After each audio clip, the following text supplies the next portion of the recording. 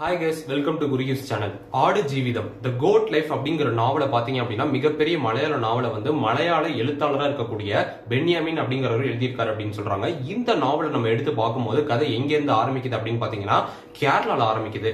கேரளாவில் இருக்கக்கூடிய நாஜிப் முகமது அப்படின்ட்டு ஒரு நபர் இருக்கிறாரு. அவர் கேரளாவில் இருக்கக்கூடிய ஹரிபத் அப்படிங்கிற இடத்துல வந்து வசிச்சிட்டு இருக்காரு அப்படின்னு சொல்றாங்க. அவரோட குடும்பத்தோட அவர் வந்து கல்யாணம் பண்றாரு ஒரு பொண்ணை விரும்பி. அந்த இடத்துல அவர் வந்து வாழ்ந்துட்டு இருக்கும்போது என்ன நடக்குது அப்படின்னு பாத்தீங்கன்னா அவர் வந்து வேலைக்கு போகணும் அப்படின்னு நினைக்கிறார். ஏன் அப்படின்னா நம்ம வந்து வேலைக்கு போனாதான் சம்பாதிச்சு நல்லா இருக்க முடியும். ஆனா அவரு வந்து பாத்தீங்க அப்படின்னா அந்த அளவுக்கு படிப்பறிவும் கிடையாது அவருக்கு. சோ அப்படி இருக்கும்போது வேலைக்கு போனதை தன் குடும்பத்தை காப்பாற்ற முடியும். அப்படி வேலைக்கு போகும்போது இந்தியாவில் இருந்தோம் அப்படின்னா நம்மளால நிறைய சம்பாதிக்க முடியாது. அதனால நம்ம இங்க இருந்து வெளிநாட்டுக்கு போலாம் அப்படின்னு சொல்லிட்டு என்ன பிளான் பண்றாரு அப்படின்னா நம்ம இங்க இருந்து கல்ஃப் கண்ட்ரி அதாவது வளைகுடா நாட்டுக்கு போலாம் அப்படின்ட்டு அவர் வந்து பிளான் பண்றாரு. இப்படி பிளான் பண்ணி பாஸ்போர்ட் எல்லாம் கிடைச்சதுக்கு அப்புறம் எல்லா ப்ராசஸும் கரெக்டா போனதுக்கு அப்புறம் என்ன பண்றாரு அப்படின்னா கேரளால இருந்து பாத்தீங்க அப்படின்னா இங்க இருந்து சவுதி அரேபியாவுக்கு அவர் வந்து கிளம்புறாரு. சவுதி அரேபியா அரேபியால இருக்கக்கூடிய King Khalid International Airport Riyadh அப்படிங்கிற இடத்துல அவர் வந்து தரையிறங்குறாரு. இறங்குனதுக்கு அப்புறமேட்டு அந்த இடத்துல பாத்தீங்க அப்படின்னா அவருக்கு மொழியும் தெரியாது ஊரும் தெரியாது யாரை பாக்குறது என்ன பேசுறதுன்னு எதுவுமே தெரியல. ஏன் அப்படின்னா இங்கிருந்து வெளிநாட்டுக்கு போனதுக்கு அப்புறம் அங்க யாரை பார்க்கணும் அங்க என்ன மொழி பேசணும்னு எதுவுமே அவருக்கு தெரியல. அப்படி இருக்கும்போது ஆனா அவருக்கு யாரை சந்திக்கணும் மட்டும் தெரிஞ்சிருக்கு ஆர்பாப் அப்படிங்கிற ஒருத்தவங்கள தான் வந்து சந்திக்கணும் அப்படின்ட்டு சொல்லியிருக்காங்க இந்த ஆர்பாப் அப்படி அப்படிங்கிறவங்க யார் அப்படின்னா இது ஒரு அரபிக் நேம் அப்படின்னு சொல்றாங்க. இந்த ஆர்பாப் அப்படின்னா என்ன அர்த்தம் அப்படின்னா அதாவது நம்மளோட வழி நடத்துறவங்க இல்ல நம்மளுடைய ஓனர் இவங்கள தான் வந்து ஆர்பாப் அப்படின்னு சொல்லுவாங்க இல்ல முதலாளின்னு கூட சொல்லலாம். சோ அப்படிப்பட்ட இந்த ஆர்பாப் அப்படிங்கிறவங்க யாரு? நம்மள வழி நடத்த போறவங்க யாரு அப்படின்ட்டு இவங்கள வந்து தேடுறாரு அப்படின்னு சொல்றாங்க. இப்படி தேடிட்டு இருக்கும்போது என்ன நடக்குது அப்படின்னா யாருன்னே தெரியாது. திடீர்னு ஒருத்தர் வராரு. வந்துகிட்டு நான் தான் உன்னுடைய முதலாளி. நான் சொல்றதா நீ கேட்கணும் அப்படின்னு சொல்லிட்டு அவர் வந்து திடீர்னு வேக வேகமா பேசி அவரை வந்து கூட்டிட்டு போயிடுறாங்க. கூட்டிட்டு போனதுக்கு அப்புறம் என்ன நடக்குது அப்படின்னா இங்கதான் அவருடைய வாழ்க்கையே மிகப்பெரிய திருப்பமா மாறுது. இங்கதான் அவருக்கு மிகப்பெரிய நைட்மேர் வருது. அதாவது கொடுங்கனவுன்னு சொல்லக்கூடிய மிகப்பெரிய நரகத்துக்கான கதவை இந்த இடத்துல தான் அவருக்கு வந்து திறக்குது. என்ன நடக்குது அப்படின்னு பாத்தீங்கன்னா இந்த மாதிரி கூட்டிட்டு போயிட்டு அங்க அங்க என்ன பண்றாங்க அப்படின்னா சவுதி அரேபியால இருக்கக்கூடிய மிகப்பெரிய ஒரு பாலைவனம் அதாவது யாரு என்னன்னே தெரியாம யாருமே இல்லாத மனிதர்களே இல்லாத ரொம்ப மிகப்பெரிய பாலைவனத்துல அவர் கொண்டு போய் இறக்கி விடுறாங்க அப்படின்னு சொல்றாங்க. அந்த இடத்துல இறக்கி விட்டதுக்கு அப்புறம் நான் சொல்றதுதான் நீ செய்யணும் அப்படின்னு சொல்லிட்டு அவர் இருக்கிற அவர்கிட்ட இருக்கிறது எல்லாத்தையுமே வாங்கிட்டு நான் சொல்றதை நீ செய் அப்படின்னு சொல்லிட்டு அந்த பாலைவனத்துல அவர் நிற்கதே நிக்க வச்சுட்டு அவங்க கிளம்பிடுறாங்க அப்படின்னு சொல்றாங்க. இப்படி நிக்க வச்சுட்டு கிளம்புனது கிளம்புனதுக்கு அப்புறம் இங்க என்ன நடக்குது அப்படின்னா அந்த பாலைவனத்துல ஆடுகள் நிறைய இருக்கு அப்படின்னு சொல்றாங்க. இந்த ஆடுகளை மேய்க்கிறது இந்த ஆடுகளை பாத்துக்கிறது தான் அவனுடைய வேலை அப்படின்னு சொல்லி அவளை ரொம்ப கஷ்டப்படுத்துறாங்க. இந்த இடத்துல இது என்ன மிகப்பெரிய கஷ்டம் நடக்குது அப்படின்னு பாத்தீங்கன்னா நாஜீப் வந்து அந்த இடத்துல வந்து என்ன பண்றாரு அப்படின்னா அந்த இடத்துல யாருமே கிடையாது. மிகப்பெரிய பாலைவனம் ஒரு நிமிஷம் யோசிச்சு பாருங்க. நீங்க ஒரு மிகப்பெரிய பாலைவனத்துல இருக்கீங்க. சுத்தி யாருமே கிடையாது எதுவுமே கிடையாது. இந்த ஆடுகளை மட்டும் மேய்ச்சிட்டு நீ உயிர் வாழணும் அப்படின்னு சொன்னா எவ்வளவு ஒரு நரகத்திலையும் மிகப்பெரிய வேதனையா இருக்கும் நினைச்சு பாருங்க. அப்படி ஒரு இடத்துல அவரை தவிக்க விட்டுட்டு போயிடுறாங்க. அந்த இடத்துல பாத்தீங்க அப்படின்னா நாஜிபை கண்காணிக்கிறதுக்கு புதுசா ஒருத்தர் வராரு. வரவர் பாத்தீங்கன்னா கண்டிப்பா நல்லவரே கிடையாது. மிகப்பெரிய நரகத்திலே மிகப்பெரிய வேதனைங்கிற மாதிரி ஒருத்தர் வராரு. அவர் கையில வந்து துப்பாக்கி இருக்கு அப்படின்னு சொல்றாங்க. அவரு வந்து நாஜிபை வந்து பெல்ட்டால அடிக்கிறதும் அது மட்டும் இல்லாம நாஜிபை குளிக்க விடல. அவருக்கு சோறு தண்ணி கொடுக்கல. அந்த இடத்துல என்ன சொல்றாரு அப்படின்னா நான் சொல்றதை நீ செய்யணும் அப்படின்னு சொல்லிட்டு ஒரு நூறுல இருந்து இருநூறு ஆடுகள் இருக்குது. அந்த ஆடுகளை வந்து நாஜிபை வந்து மேய்க்க சொல்றாரு. இவர் அந்த ஆடுகளை எல்லாம் மேய்ச்சிக்கிட்டு அப்படியே வந்து அங்க வந்து வாழ ஆரம்பிச்சிடுறாரு. இப்படி வாழ ஆரம்பிக்கும் போது அந்த இடத்துல பலவிதமான கொடுமைகளை வந்து நாஜிப் சந்திக்கிறாரு. அது என்னென்ன கொடுமைகள் சந்திக்கிறாரு அப்படின்னா அவரை பாத்துக்கிறதுக்கு இந்த அந்த கார்டியன் அப்படிங்கிறவர் அவர் பாத்துக்கிறதுக்கு இருந்தார் இல்லையா? அவர் என்ன பண்றாரு அப்படின்னா அவர் வந்து பெல்ட்டால் அடிக்கிறதும் சாப்பாடு இல்லாம சாப்பாடு கொடுக்காம அவர் ரொம்ப கஷ்டப்படுத்துறதும் மூணு வேளைக்கு ஒரே ஒரு வேளை மட்டும் சாப்பாடு கொடுக்குறாங்க. சில நேரம் சாப்பாடே இருக்காது தண்ணியும் கிடையாது அப்படின்னு சொல்றாங்க. பாலைவனத்துல அதாவது அவர் மட்டும் தண்ணியை குடிச்சுக்கிட்டு நாஜீபுக்கு எதுவுமே கொடுக்காம அவரை பயங்கரமா ரொம்ப கொடூரமா கஷ்டப்படுத்துறாரு. இப்படி கஷ்டப்படுத்திட்டு இருக்கும்போது நாஜீபோட ஒரு கட்டத்துக்கு மேல தாங்கவே முடியல. எல்லா வழியும் தாங்கிட்டு அவருக்கு என்ன நடக்குது அப்படின்னா தாடி நிறைய வளர்ந்துருது மீச நிறைய வளர்ந்துருது. ரொம்ப அப்படியே முகமே பாத்தீங்க அப்படின்னா ஒரு அதாவது ஒரு அகதி மாதிரி ரொம்ப ஒரு மோசமான ஒரு தாழ்ந்த நிலைமைக்கு போயிடுறாரு. அவருடைய அடையாளமே அவருக்கே மறந்து போற அளவுக்கு ரொம்ப மோசமாயிடுறாரு. இப்படி இருக்கும்போது அவர் எப்படி வாழ்றாரு அப்படின்னா இங்கேதான் வந்து கதையோட பேரே வந்து தென்படுது. ஆடு ஜீவிதம் அப்படின்னா ஆடு வாழ்க்கைன்னு அர்த்தம். இப்படி இந்த ஆடுகளையும் மேய்ச்சிட்டு இருக்கும்போது என்ன நடக்குதுன்னா இந்த ஆடுகளோடய சேர்ந்து அவர் வந்து வாழ ஆரம் வாழ ஆரம்பிக்கிறாரு. ஏன் அப்படின்னா சாப்பாடு கிடையாது போட்டுக்கிறதுக்கு வேற துணிகள் கிடையாது சரியான தண்ணி கிடையாது. அப்போ இந்த ஆடுகளோட சேர்ந்து நம்ம வாழ்ந்தாதான் உயிர் பிழைக்க முடியும் அப்படின்ட்டு வேற வழியே இல்லாம இந்த ஆடுகளோட போறாரு. இந்த ஆடுகள் எல்லாம் திண்ணிலிருந்து தண்ணி குடிக்கல அந்த தண்ணியை ஆடுகளோட சேர்ந்து அவர் வந்து மறைஞ்சிருந்து குடிக்கிறாரு. ஏன் அப்படின்னா தண்ணி கூட குடிக்க விட மாட்டாங்க. அந்த அளவுக்கு கஷ்டப்படுத்து கஷ்டப்படுத்துவாங்க அப்படின்னு சொல்றாங்க. ஏன் அப்படின்னா இவர் தண்ணி குடிக்கிறத அவர் பார்த்தார். அதாவது அவரை பார்த்துக்கிறவர் அந்த கார்டியன் பார்த்தார் அப்படின்னா பெல்ட்டாலே இவர் வந்து அடிக்கிறாரு. அது மட்டும் இல்லாம இப்படி வந்து இவர் தண்ணி குடிச்சிட்டு அது மட்டும் இல்லாம இப்படி ஆடுகளோட சேர்ந்து இப்படியே வந்து மறைஞ்சு மறைஞ்சு வாழ்றாரு. இந்த ஆடுகள் அப்படியே மேய்ச்சிக்கிட்டு இருக்காரு இந்த ஆடுகள் திங்கிறதை இவர் வந்து எடுத்து சாப்பிட்டுட்டு இருக்காரு இப்படி சாப்பிட்டுக்கிட்டே இருக்கும்போது என்ன நடக்குது அப்படின்னா ஒரு ஒரு கட்டத்துக்கு மேல இவருக்கு வந்து ரொம்ப முடியல. அப்படி இருக்கும் போது இவர் தப்பிச்சு போலாம் அப்படின்ட்டு நினைக்கிறாரு. இப்படி தப்பிச்சு போலாம்னு நினைக்கும் போது தான் இதுக்கு மேல மிகப்பெரிய நரகத்தை அவர் வந்து காட்டுறாரு. அந்த கார்டியன் அதாவது அவரை பார்த்துக்கக்கூடியவர் என்ன பண்றாரு அப்படின்னா நீ இங்க இருந்து தப்பிச்சு போனேன்னு நினைச்சீங்கன்னா அதுக்கு முன்னாடி ஒரு விஷயத்த பார்த்துட்டு நீ வந்து தப்பிச்சு போ அப்படின்னு சொல்றாரு.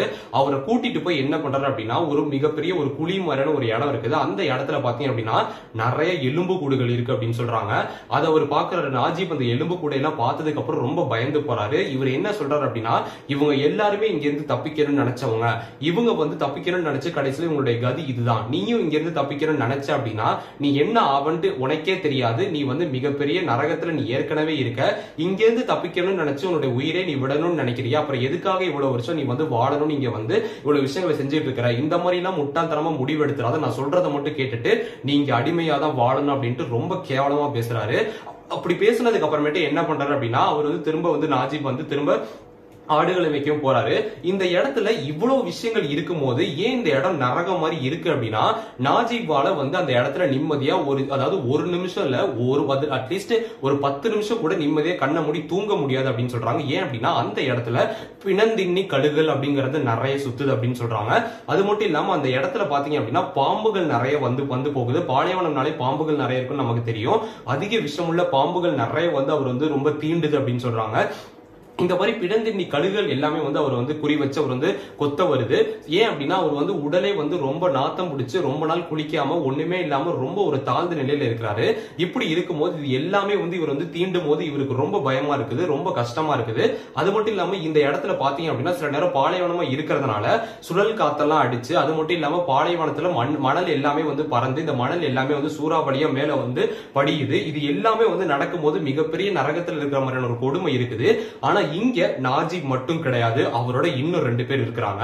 அது யார் அப்படின்னா அதாவது சோமாலியால இருந்து வந்து இன்னொரு ஒரு அகதியா இருக்கக்கூடிய இப்ராஹிம் அப்படிங்கிறவரும் இன்னொருத்தர் என்ன அப்படின்னா நாஜிபுடைய ஃப்ரெண்டா ஹக்கீம் அப்படிங்கிற ஒருத்தர் இருக்கிறாரு அப்படின்னு சொல்றாங்க. இப்படி இருக்கும்போது இவங்க மூணு பேர் வந்து சந்திச்சுக்கிறாங்க. சந்திச்சுக்கிட்டு இந்த இடத்துல இருந்து நம்ம எப்படி தப்பிக்கிறது ரொம்ப கஷ்டப்படுறோமே அப்படின்னு சொல்லிட்டு தப்பிக்கிறதுக்கு பிளான் எல்லாம் போடுறாங்க. ஒரு கட்டத்துக்கு மேல என்ன நடக்குது அப்படின்னா இந்த இடத்துல இருந்து நம்ம கண்டிப்பா தப்பிச்சே ஆகணும் அப்படின்ட்டு இந்த மூணு பேரும் சேர்ந்து ஒரு திட்டம் தீத்தி அங்கிருந்து தப்பிக்கவும் செய்யறாங்க இப்படி தப்பிக்க தப்பிக்கும் போது மிகப்பெரிய ஒரு பிரச்சனை என்ன நடக்குது அப்படின்னா அந்த ஹக்கீம்ங்கிறவர் என்ன என்ன ஆகுறாரு அப்படின்னா அவரும் அந்த இடத்துல வந்து வாழ்ந்துட்டு இருந்ததுனால அவர் அதாவது இவங்க எல்லாமே தனித்தனியா வாழ்ந்துட்டு இருக்காங்க அந்த இடத்தையே சுத்தி சுத்தி வந்ததுனால ஒரு காலத்துல இவங்களுக்கு வந்து சந்திக்கிறதுக்கு வாய்ப்பு கிடைச்சு சந்திச்சு மூணு பேர் திட்டம் திட்டி எது தப்பிக்கணும்னு நினைக்கிறாங்க. அப்படி தப்பிக்கணும்னு நினைக்கும் போது அந்த ஹக்கீம் அப்படிங்கிறவர் ரொம்ப நாள் சாப்பிடாம உடல் ரொம்ப குன்றி போய் கடைசியில வந்து பசியிலே வந்து இறந்து செத்து போயிட்டாரு அப்படின்னு சொல்றாங்க. இப்படி இறந்ததுக்கு அப்புறமேட்டு மீதி இந்த ரெண்டு பேர் தான் இருக்கிறாங்க. இப்ராஹிம் அப்படிங்கிறவரும் நாஜிப் அப்படிங்கிறவரும். இவங்க ரெண்டு பேரும் அங்கிருந்து தப்பிக்கணும்ட்டு வேகமா ஓடுறாங்க. அது மட்டும் இல்லாம இந்த இந்த இடத்துல பாத்தீங்க அப்படின்னா மிகப்பெரிய மணல் சூறாவளியே வந்துகிட்டு இருக்குது. இப்படி இருக்கும்போது இங்க இருந்து அது அது மட்டும் இல்லாம இவங்கள இவங்கள தான் வந்து பாதுகாக்கிறதுக்கு இன்னொருத்தர் கூட இருக்கிறாருல்ல. அவர் வந்து இவங்களை குறி வச்சு இவங்களை வந்து சுடுறாரு. ஒவ்வொரு தடவையும் சுடும் போது இவங்க அதுல இருந்து தப்பிச்சு ஓடி ஒரு கார் எடுத்து அங்கிருந்து தப்பிச்சு வெளியே போயிட்டாங்க அப்படின்னு சொல்றாங்க. இப்படி இங்க இருந்து இவங்க வந்து தப்பிச்சு வந்ததுக்கு அப்புறமேட்டு இங்கிருந்து ஒரு வழியா வந்து அதாவது இப்படி தப்பிச்சு வந்ததுக்கு அப்புறம் அந்த இடத்துல ரெண்டு பேர் பிரிஞ்சுட்டாங்க. அதாவது பாலைவனத்துல இருந்து ஓடி வந்து ஓடி வந்து ஒரு கட்டத்துக்கு மேல ஒரு இடத்துல அதாவது ஓரளவுக்கு இது ஒரு இடம் தான் அப்படின்னு தெரியற மாதிரியான ஒரு இடத்துல பாத்தீங்க அப்படின்னா அதாவது பாலைவனத்துல எல்லாம் நமக்கு புரிய புரியவே புரியாது எங்க எடுத்துட்டோம்னாலும் ஓரளவுக்கு ஒரு ரோடு கனெக்ட் ஆகிற இடத்துல வந்ததுக்கு அப்புறம் இப்ராஹிம் அப்படிங்கிறவரு பிரிஞ்சு போயிடுறாரு அப்படின்னு சொல்றாங்க.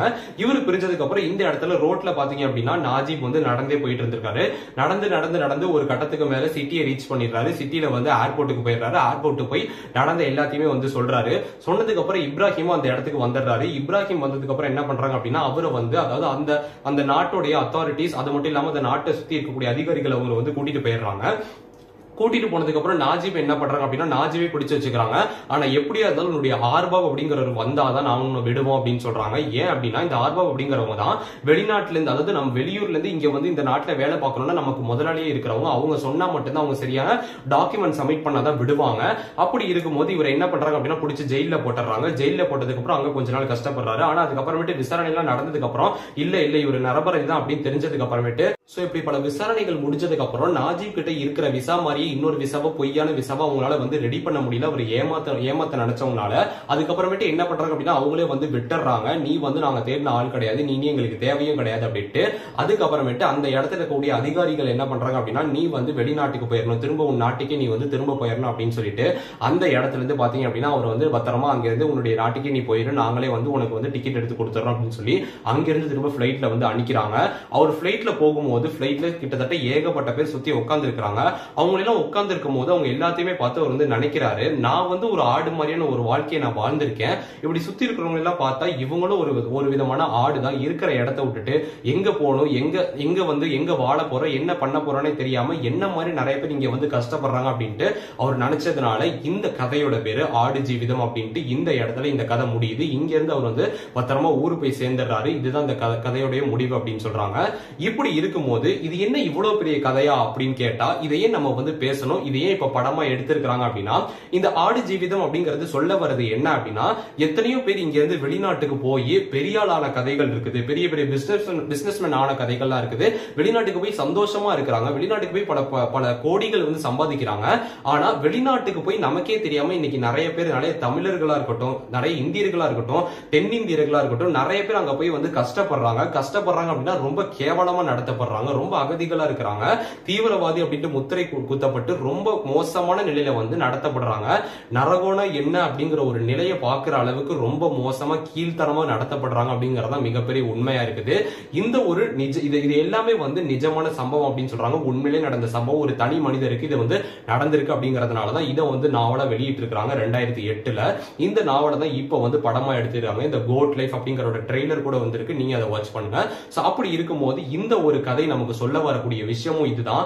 எப்பயுமே வந்து என்ன அப்படின்னு பார்த்தீங்கன்னா எல்லா இடத்துலயுமே வந்து நியாயம் நேர்மை அப்படிங்கிறது நடக்கிறதே கிடையாது. மக்களை கொடுமைப்படுத்துறது மக்களை வந்து தவறா நடத்துறது அப்படிங்கிறது பல நாடுகளில் நடந்துகிட்டு தான் இருக்குது. இதை பத்தி நம்ம பேசுறதும் இல்லை நமக்கு தெரியறதும் கிடையாது. ஒரே இடத்துல உட்காந்துக்கிட்டு எல்லாம் தெரியும் நம்ம நினைச்சிட்டு இருக்கிறோம். ஆனா நமக்கே தெரியாம பலவிதமான பேர் பலவிதமான வகையில மக்களை வந்து துன்புறுத்திக்கிட்டே தான் இருக்கிறாங்க.